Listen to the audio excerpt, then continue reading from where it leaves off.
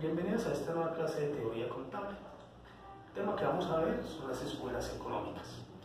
Las escuelas económicas y planteamientos científicos. Como ya hemos indicado, algunos autores sitúan a Francisco Villa como iniciador de la etapa científica. Otros opinan que este periodo no comienza hasta el nacimiento del neoconticismo. Ellos, debido a que esta escuela pone los cimientos de una visión más moderna de nuestra disciplina. De acuerdo con Matesis, se caracteriza por las siguientes notas. Primero, formulación y utilización de términos bien definidos y conceptos empíricamente significativos.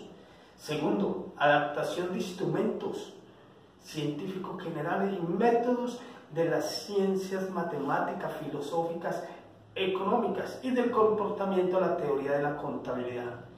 Tercero, orientación hacia la contabilidad específica y hacia modelos de orientación de gestión para objetivos concretos contra la aceptación dogmática de un fin único.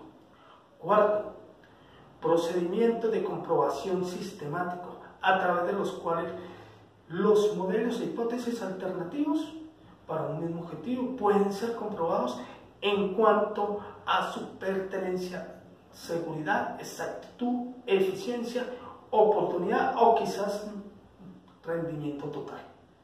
Y por último, integración de las áreas contables específicas de una entidad coherente en vez de un conjunto con convenciones defectuosamente conectadas, dogmas, reglas y modelos particularizados aislados. En la próxima sesión veremos las otras escuelas económicas.